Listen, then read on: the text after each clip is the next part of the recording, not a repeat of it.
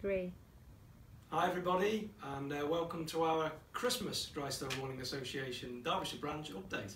Um, what a year 2020 has been. I mean it's been a real challenge for lots and lots of people in many different ways and it's been a challenge for our charity.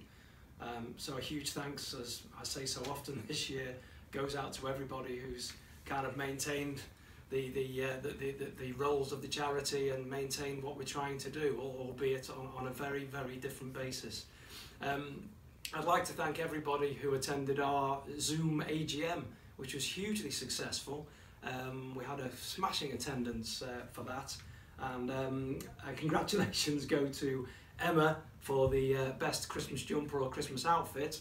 Um, she was dressed uh, superbly well as an elf. I'm sure um, she'll be uh, getting that outfit again uh, sometime, I hope. Um, it was absolute smasher. And um, for that, she won a superb Drystone Walling hammer. So well done, Emma.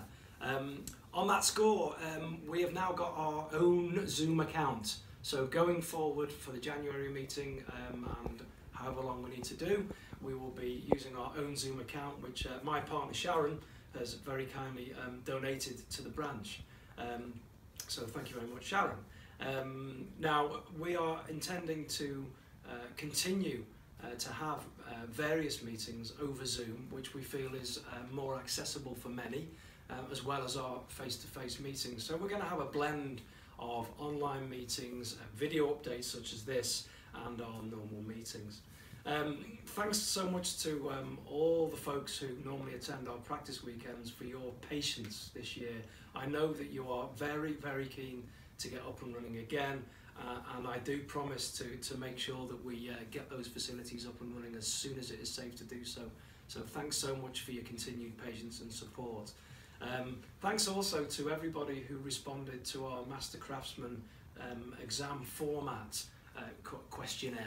We're, just looking at, at what people feel about taking their Master Craftsman uh, exam um, and progressing on from there advanced. And we're looking to make some uh, changes such that the format is, is more accessible uh, and um, more up to date with, with current learning um, um, procedures. So um, thanks to everybody there. Um, I did send a little email to Alison on behalf of our branch, thanking her for all her hard work this year, and she sends her best wishes to everybody in, in the Derbyshire branch. So short and sweet, I hope everybody has a, a, a really uh, lovely Christmas uh, and, and New Year. So all it remains for me to say for 2020 is here's to friends we've lost, but here's to much better times in 2021 when we hope to crack on with our task of promoting the uh, Drystone Walling craft. So uh, Merry Christmas, all the best, Happy New Year, thanks for your support. Cheers.